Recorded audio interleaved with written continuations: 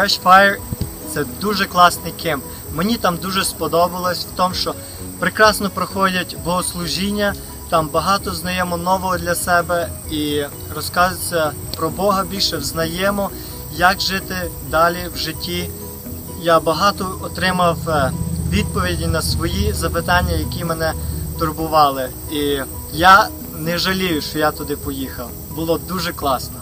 То, что мне очень запомнилось про Fresh Fire Camp, в прошлые года это было прославление. Оно очень всегда прекрасное. С каждой церкви участвуют worship teams, и всегда очень хорошая подготовка на каждое служение. Ты входишь такое состояние, где просто каждое слово потом для тебя. Спикера всегда очень хорошие.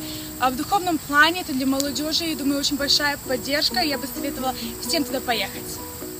Another favorite thing for me about camp was the activities. So basically, Saturday you get the whole day to go out and have fun, meet new friends, um, do different things, and enjoy the nice, lovely view.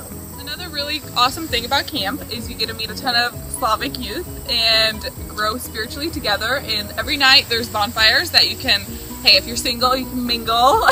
um, but there's really awesome people you get to meet and you're friends for a lifetime after. So, hey, hope to see you there. Be there or be square.